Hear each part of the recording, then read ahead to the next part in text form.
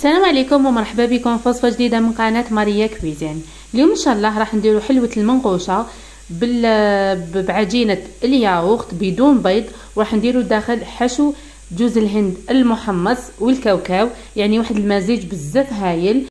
نبداو بسم الله. عندي لهنا باطا تاع الياغورت أي ذوق تحبوه؟ أنا لهنا استعملت تاع البنان ومن الأحسن تستعملوا تاع القارص. راح يجي روعة ولا تاع لانوات كوكو المهم الذوق اللي تحبوه ديروه ولا واش عندكم في الدار أخدموه. راح ندير باطا وحدة كما راكم تشوفوا في نفس الباطا راح ندوب المارغرين ونخليها تبرد. وراح نعمر زوج بايض تاع المارغرين. يعني ندوب المارغرين نخليها تبرد. وراح نضيفها على الياغورت.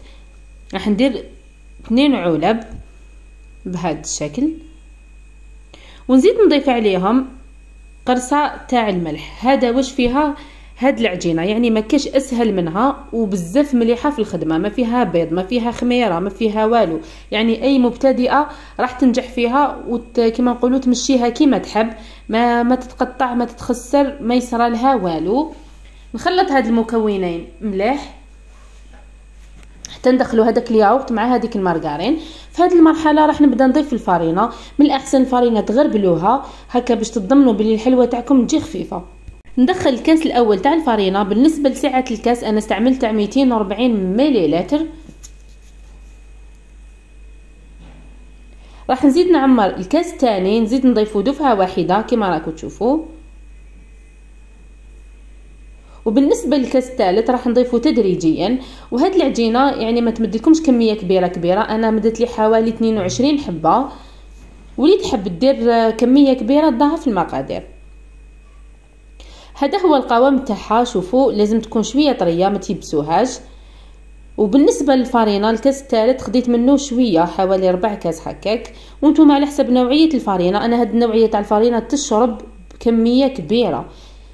نجي لهنا بالنسبة للحشو. عندي لهنا نص كاس noix de coco ولا جوز الهند محمص. يعني شوفوا كي جيت نخدم الكاطو تاعي رحت حمصته في المقلة حتى خدا لي هذا اللون. وزدت عليه نص كاس كاوكاو محمص ومطحون وما يكونش خشين.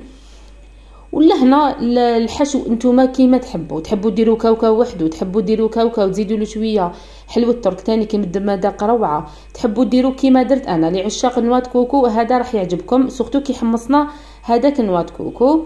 وراح واش راح ندير لهنا؟ راح نطمها بالمعجون. يعني علاش خيرت لكم هاد هاد الطريقة؟ بزاف تجوني تعاليق يقولوا لي ما نحبوش المزهر. كما المالفين نديرو بالعقدة. حلوة المنقوشة كنا نديروها بالعقدة.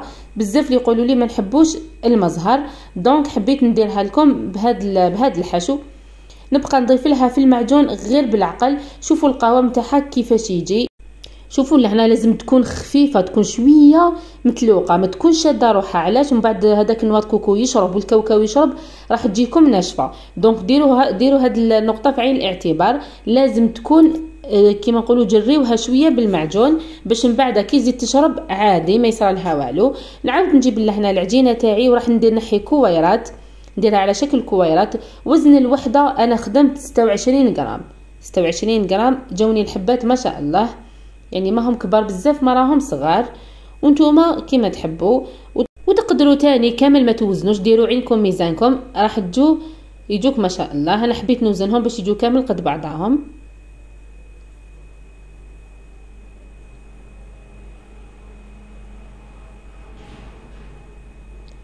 لهنا كملتهم كامل حطيتهم بجهه وراح نبدأ نخدم بالوحدة. نجي لهنا نحطها على طاولة العمل ما تلصق ما يصرى لها والو. ونجيب الحلال هكذا نحللها شوية. لهنا ما ديروها رقيقة بزاف ما تخلوها خشينة بزاف. وديروها كيما نقولوا على على شكل طولي بشكل طولي كيما راكم تشوفوا يعني الصورة راهي توضح خير.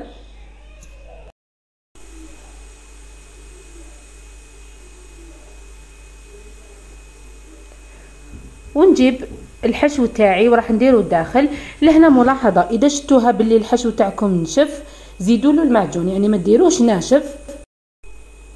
parce que قلت لكم باللي noix de coco والكاوكاو يشربوا كمية مليحة من السوائل. ونجي لهنا نغلقوا مليح لازم تغلقوا مليح بهذه الطريقة كيما راكم تشوفوا غلقوا مليح باش ما يتحلوا لكمش هكذا بهذا الشكل.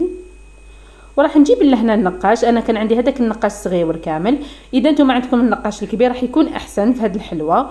وراح نجي ندير يعني ننقش عادي كما ننقش أي حلوة. وهاد العجينة تساعد بزاف كي تكونوا تنقشوا فيها. ما تتخسن ما تتقطع ما والو. وشوفوا لهنا وين تخلص الخط الأولاني. نبدأ فيه النقاش بالنسبة للخط الثاني. شوفوا. هذه الطريقة الأولى باش يجوكم بزاف يعني خطوط بزاف.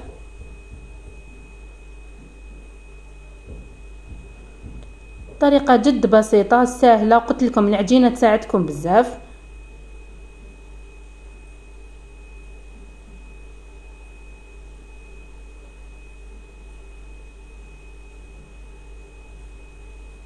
وهذا هو الشكل ديالها. شوفوا. يعني الشكل تاع الحبة يجي ما شاء الله. نزيد نخدم معكم حبة واحدة أخرى. بزاف ساهلين تمتم توجدوهم مم كيما تكونوا تنقشوا فيهم يشدوش كامل الوقت. هكذا. ندير كمية تاع الحشو. ونجي لهنا نغلق.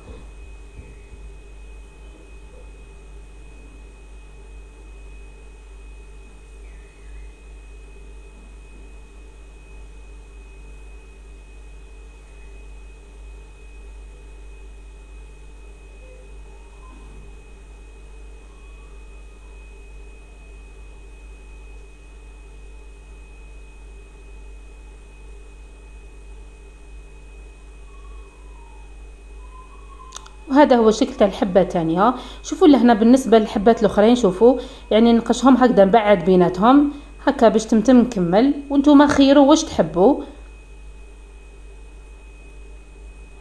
أنا لهنا كملتهم كامل درتهم في بلاطو فرشت عليهم papier cuisson mais إذا كان البلاطو تاعكم ما يلصقش ما تفرشوا ما والو ما راحش يلصقوا في هذه المرحلة نكون شعلت ال cuisinière تاعي على 180 درجة قبل ما نحطهم حوالي بنص ساعة.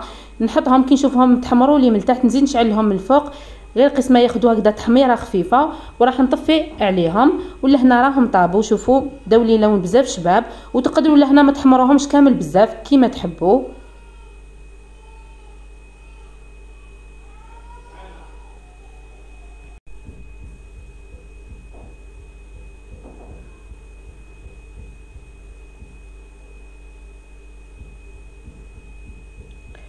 ونجي لهنا عندي لهنا العسيلة كنت خففتها بشوية تاع الماء لأن قلت لكم راح نستعمل كامل المزهر واللي يحب يدير المزهر يدير المزهر. ندير الحلوة تاعي الداخل لازم تكون خفيفة ما ديروهاش ثقيله هذيك العسيلة. ولهنا ملاحظة اللي ما تحبش تعسلها واش دير؟ في لاباط تزيد زوج مغارف كبار تاع سكر ناعم وما تعسلهاش تاني كي ما تعسلوهاش تجي بزاف هايلة. أنا لهنا عسلتها نعسل بشوية حتى نكمل كامل الكمية اللي عندي.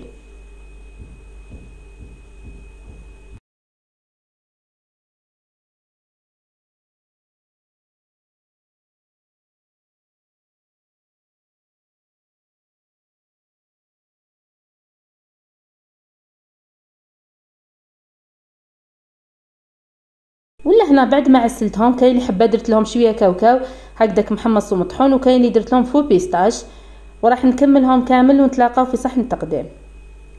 وهذا هو الشكل النهائي لوصفة اليوم اللي هي حلوة المنقوشة بعجينة الياغورت وبحشو الجوز الهند المحمص. جات ما شاء الله. شوفوا الشكل تاعها يجي بزاف شباب. المذاق تاعها يجي هايل surtout اللي ما يحبوش المزهر ما يحبوش العقدة داخل الحلوة. هذه ليكم. يعني هذيك القروسيه تاع المز... تاع المعجون تمد لها مذاق بزاف هايل. شوفوا طيب حميمره طيب هايلة. نجي لهنا نقسمها لكم. لاباط تاعها تجي شوية مقرمشة مي شغل خفيفة ماشي هذيك يابسة لا لا. الحشو الداخل يجي معسل يجي بزاف بنين. شوفوا. وفي الآخر ما عليا غير نقول لكم شكرا على المشاهدة. إلى وصفة لاحقة إن شاء الله. سلام.